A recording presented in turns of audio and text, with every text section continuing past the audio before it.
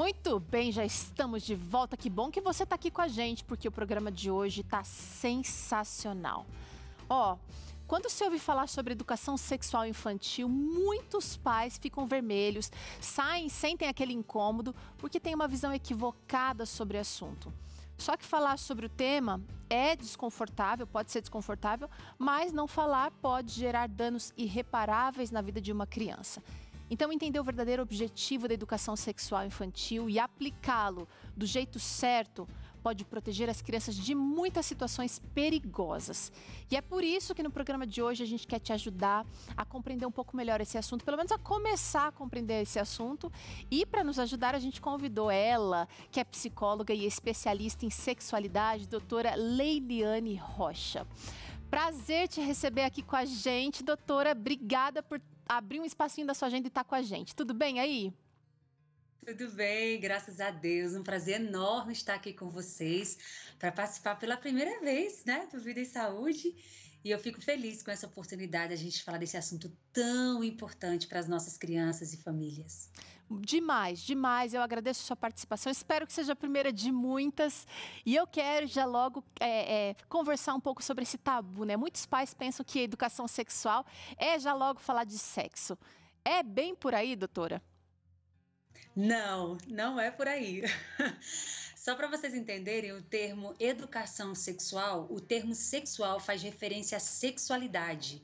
E a sexualidade, ela se refere a quê? A sentimentos, emoções, sensações, valor do corpo, respeito ao próprio corpo, ao corpo do outro, aos relacionamentos que temos de forma em geral.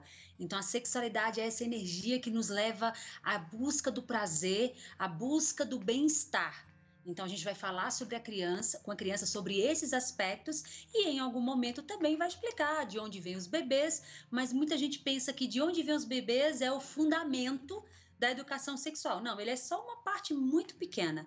Os princípios maiores que devem estar envolvidos aí, que foi o que eu falei agora há pouco. Nossa, doutora Leilene, é, quando eu entendi isso, até fiz o seu curso, né? Quando eu entendi isso, foi, foi tão assim bom para mim como mãe compreender que o conhecimento, conhece, é, compreender que é, isso pode começar desde muito mais cedo, do jeito certo, né? Cada fase o seu momento, é, me abriu o leque assim de possibilidades e a minha visão ficou mais assim tranquila com relação a esse assunto e alerta com relação a outros. Eu quero que você explique para gente quais os benefícios de se ensinar sobre educação sexual já desde os primeiros anos.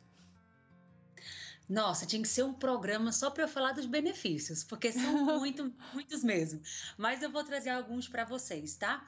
Uma criança que recebe educação sexual, ela é, aprende a se proteger de abusos sexuais e outras violências, como acontece em muitas escolas, violências físicas, é, violências verbais. Então, a educação sexual vai preparar essa criança para um empoderamento infantil, no sentido de saber se proteger sem agredir a educação sexual ela é fundamental para a formação das nossa, da nossa inteligência emocional, da nossa imagem corporal, da nossa autoestima. Quantas pessoas não sabem lidar com os seus corpos? E isso é, tem tudo a ver com a educação sexual inadequada que receberam. E outro ponto que muitas pessoas não fazem, não fazem ligação nenhuma, mas muitos estudiosos apontam é que crianças que recebem educação sexual já é provado que elas têm a tendência de ter um melhor maior aproveitamento escolar, porque as questões da sexualidade são as nossas questões primeiras, de onde eu vim, como eu vim parar nesse mundo, como é que funciona meu corpo, porque eu tenho essa parte íntima, porque então essas questões que envolvem a curiosidade natural da criança, quando elas são saciadas, quando a criança entende que pode falar sobre o seu corpo, sobre as suas sensações, sobre o corpo do outro, a criança é, abre no cérebro da criança a janela do saber o desejo pelo saber. E a educação sexual também está diretamente ligada com as questões cognitivas, o desempenho cognitivo do ser humano. Fora Gente, não, é, ela tem uma, um monte de coisa para te falar. Se você entrar no Instagram dela, você vai ficar surpreso, mas faz todo sentido. Uma pessoa que está segura consigo mesmo, consigo mesma, ela consegue é, aprender, obviamente, sem o medo, né? Sem o medo de se expor ou sem o medo de errar, porque ela está segura consigo. Mas educação sexual tem data, tem data não, tem momento certo para falar de coisa certa e assim por diante. A gente está aqui diante de crianças pequenininhas, mais velhas, e eu queria que você falasse um pouquinho para a gente, então, como é que a gente faz para falar sobre educação sexual nos primeiros 10 anos de vida, doutora? A gente separou aqui o que, que dá para ser feito, por exemplo, no primeiro ano da criança? Como é que a gente já faz? Trabalha educação sexual no primeiro ano, parece surpreendente para alguns, mas nomear corretamente as partes do corpo, todas elas, e explicando de maneira objetiva para que, que essas partes servem. Já é um bom começo. Sim, sim. Inclusive, pode começar desde a gravidez tá bom? Então, quando, como é que a gente começa desde a gravidez? Quando os pais já começam a ler sobre o assunto, quando os pais já conversam com essa criança no ventre, quando já começa a preparar os parentes para não brincarem com as partes íntimas, os pais já começam a delimitar, a estabelecer claramente esses limites para quando a criança for nascer, quando os pais desde a gravidez já nomeiam corretamente as partes íntimas, tá? E aí muita gente fala, Leliane, por que tem que falar o nome certo? Por que tem que falar para o menino que ele tem pênis? Pênis e que ele e para a menina que ela tem vulva. E já quero deixar claro para vocês que o nome da parte íntima feminina não é vagina, tá, gente? É vulva. Vagina é o canal interno, então o que a menina lava é vulva. Então por que tem que ensinar desde cedo é, é, as, as crianças essas partes do corpo? Porque são os nomes delas. Então nós temos uma cultura de apelidar. Né? E isso pode trazer uma percepção negativa da criança, porque todas as partes do nosso corpo, todo mundo chama boca, nariz, olho, e só as partes íntimas as pessoas dão nomes diferentes. Isso já traz para a criança uma percepção negativa ou proibitiva. Essas partes são tão diferentes que eu não posso nem chamar pelos nomes, entende? Então, se, se você quiser apelidar, você use o apelido, mas pelo menos ensine a criança os nomes corretos desde pequenininho desde bebê, desde a ultrassom, já comece a ensinar o nome correto para sua criança. É um importante passo da educação sexual infantil. Legal, e você está percebendo aqui pela conversa com a doutora que você vai ter que educar o seu filho e muitas vezes vai precisar educar a família também. Então vamos juntos nessa. Doutora Leilene tem muita coisa no seu canal do Instagram para você gratuitamente acessar e já ir se educando primeiro. Dos dois aos quatro anos, ajude a criança com o desfraude de maneira gentil e respeitosa. Acho demais isso aqui. E explique as diferenças entre o corpo da menina, o corpo do menino e o corpo da criança e do adulto. Exatamente. Eu só quero deixar claro para o pessoal que existem N formas de realizar essa educação sexual em cada idade, mas por causa do tempo do programa, a gente está trazendo só algumas. Certo. Mas não pensem que é só isso, não, tá? Tem muitas outras formas. Então, é, em relação ao desfraude, ele é um ponto fundamental na educação sexual, emocional e psicológica da criança tá? Então, é, cuidado com esse desfraude forçado, esse desfraude precoce. Não, durante a educação sexual da criança, lide bem positivamente com o cocô, com o xixi, porque a, a, a nossa percepção sobre atividade, ela é principalmente desenvolvida com a nossa relação com o cocô. E aí, quando os, a, a, criança, por exemplo, vem entregar a fralda cheia para os pais, e os pais fazem, nossa, eco, que nojo, não sei o quê, isso afeta muito diretamente a criança, porque o cocô é a sua primeira obra de arte, é aquilo que ela percebe que ela consegue fazer sozinho. Soa estranho para gente, tá? Mas isso é, é, é bem assim mesmo, de fato. E aí, quando sua criança vier com essa fralda cheia, não fale que a fralda está suja, fala que ela está cheia. Mamãe vai trocar o seu corpinho. Quando for trocar a fralda da criança, pede licença. Licença, mamãe agora vai tocar em suas partes íntimas. Elas são importantes, especiais. E eu vou limpar bem direitinho para você ficar cheiroso, porque seu corpo é importante, especial e merece todo esse cuidado. Deus te fez de uma maneira incrível e vai conversando com esse bebê, desde um aninho também, tá? Vai conversando com esse bebê e falando e nomeando as partes do corpo dele. Isso vai formando a imagem corporal da criança e o conceito de corporeidade, que é fundamental para a criança aprender a lidar com o corpo de forma positiva desde aí. E o outro ponto que você trouxe justamente é falar para a criança as diferenças dos corpos. Então, muita criança, as crianças percebem que todo mundo tem dois olhos, tem uma boca, tem nariz, tem dentes, e, e o corpo do homem e da mulher são bem parecidos. Mas de repente a criança descobre que tem uma parte que é totalmente diferente. E aí ela passa a não entender.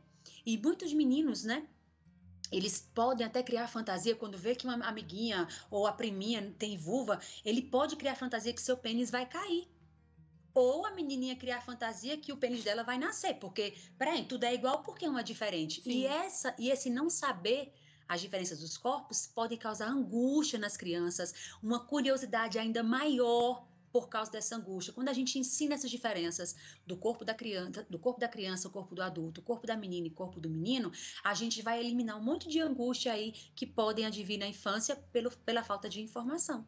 Tá. Quem deixou escapar esses primeiros anos e não fez isso que a doutora Leiliane ensinou, dá para começar daqui para frente, de repente dos 5 aos 7 anos, como que a gente vai falar aqui, doutora? Com certeza. Nunca é tarde, nunca é cedo para fazer o melhor. Nunca você vai estar tá atrasado e ah, perdi, agora acabou. Jamais. Tem famílias que começam educação sexual que estão comigo com 10 anos de idade se surpreendem com os resultados. Então, é o melhor é começar de um ano? É. Mas se você não, não, sua criança já passou, né? Já tá aí com 7, 10 anos. Se você começar, ela vai aprender e dá tempo de fazer essa reconstrução que a educação sexual promove é, para nós, nos oferece, né? Gente, então, tudo... pode ficar tranquilo, dá tempo. Sim, e olha, você está percebendo que aqui a gente está usando de honestidade, de sinceridade, de verdade, tá? Dos 5 aos 7 anos, você também vai precisar continuar respeitando a intimidade, a privacidade da criança. É, é claro que essa supervisão ela vai precisar acontecer, mas as coisas vão mudando, a criança tem um pouquinho mais de autonomia. E não deixe que ela troque de roupa na frente de outras pessoas. Isso mudou muito de uns anos para cá. Eu me lembro que quando eu era pequena, era normal uma menina de 3, 4 anos ficar sem camiseta. É, e hoje já não é mais considerado normal. A gente precisa ter esse cuidado, sim, e, e desenvolver esse cuidado nas crianças, né, doutora? Sim, precisamos, porque é, a gente tem que, desde cedo, é implantar na mente da criança as bases da formação da sexualidade. A intimidade, a privacidade, o consentimento são pilares importantes. Tá? E aí, quando a gente fala de intimidade privacidade, a gente está falando o que? A gente tem que ensinar para a criança o que é de ordem pública e o que é de ordem privada. E a gente vai ensinar isso à criança o quê?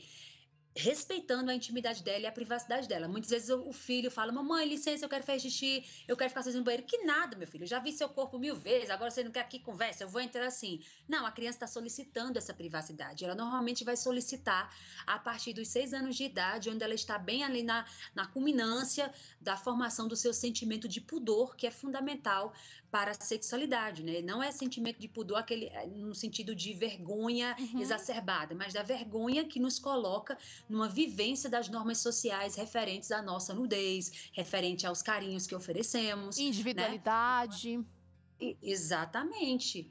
Então a gente tem que ensinar isso para a criança e respeitar. Então você não vai estar tá trocando a roupa da criança na praia, para todo mundo ver. Tem gente que, ah, troca ali mesmo na praia e tal. Não, tá na praia e quer trocar? Faz uma barreirazinha ali com a toalha, né? Certo. Põe alguma coisa. Tudo isso a gente está ensinando na prática privacidade e intimidade à criança. Deixando claro que as partes íntimas são partes tão importantes e especiais que elas ficam guardadinhas e não é qualquer pessoa que pode tocar nelas, somente o papai, a mamãe ou quem faz parte da rede de, de, de apoio da família, que cuide da criança também. Se essa criança é pequena e precisa ser tocada na parte íntima para higiene, né? Então a gente vai estar tá falando isso para a criança e tudo isso já vai falar sobre intimidade e privacidade. Bom, já aos 10 anos, a gente está fazendo de maneira muito resumida aqui, mas aos 10 anos é preciso, dos 8 aos 10, melhor dizendo, é preciso abrir o diálogo com a criança sobre amizade e namoro e deixar esse canal de comunicação aberto. Muito importante isso aqui, doutora, por quê? Porque veja só, gente, a partir dessa idade, 8 anos, a gente vai incluir isso que a Teru trouxe, mas também outros aspectos que eu vou fazer uma ligação com esse ponto aí. Aos oito anos, normalmente, é, infelizmente, hoje, a puberdade das crianças está muito precoce.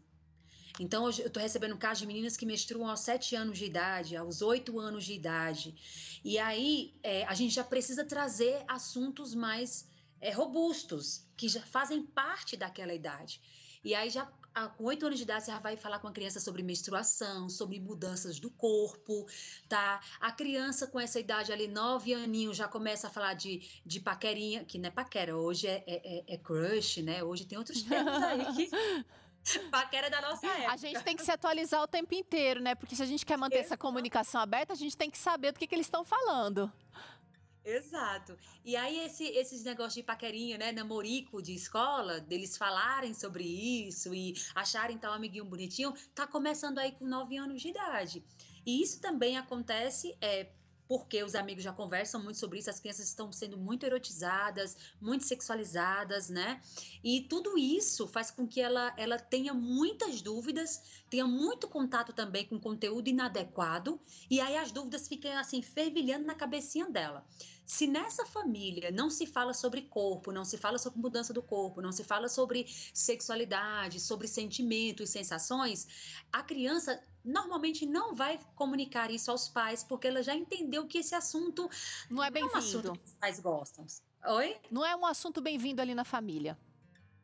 Não, não, nunca falou sobre, porque quando a gente quer inculcar algo na mente do filho, a gente fala mil vezes: meu filho, essa toalha aqui, meu filho, esse tênis na sala, meu filho. Então, tudo que a gente quer ensinar para a criança como pai e mãe, a gente está lá repetidamente falando. Certo. Agora é um assunto que meus pais. Nossa. não tem nada, não. O, o seu. a Siri. Tem gente, a Siri está querendo participar né? dessa conversa. Eu esqueci de colocar aqui no não perturbe. Deixa eu colocar. Mas, ó, mas me fala uma coisa, porque nessa fase aí Quer também começam a surgir aquelas perguntas cabulosas que os pais têm medo. Ai, meu filho me chegou com essa pergunta e eu não sei como é, é, responder. Será que está na hora? Será que ele já está pronto para ouvir? Como é que a gente faz quando surgir essas perguntas embaraçosas? doutora? Olha só, Teri, o ideal é que a gente nem espere surgir, a gente já vá fazendo a educação sexual. Naturalidade. Mas se por acaso sua criança, né, chegou com essa pergunta, é super importante você entender que você não é obrigado a responder naquela hora, se você não está se sentindo seguro. Tá? O mais importante não é responder na hora e responder com aquela insegurança, com, com tensão no rosto, porque se você conversa com sua criança sobre sexualidade com tensão, aquela tensão, mal-estar, a gente já vai transmitir para a criança uma mensagem que aquele assunto é o que? Desconfortável é. para mim.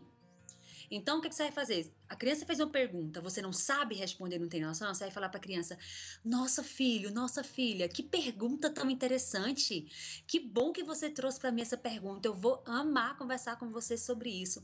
Mas a mamãe e o papai, a gente precisa pesquisar mais um pouquinho, porque eu quero trazer umas coisas bem legais para você.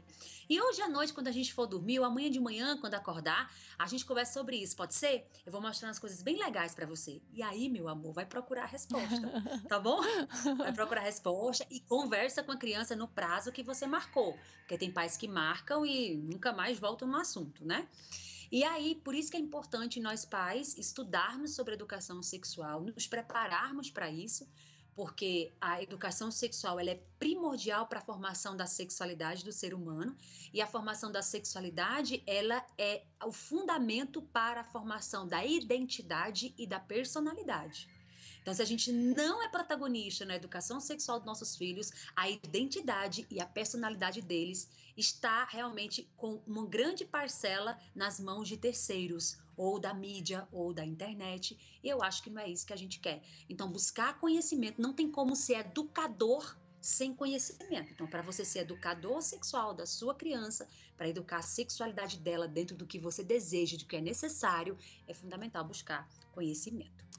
Por isso que ela está aqui no Vida e Saúde, porque ela é sensacional, Leilene Rocha tem muito conteúdo bacana, continuando aqui educação sexual infantil e outros outros conteúdos que você e sua família vão agradecê-la um dia por você ter é, é, conectado com esse assunto.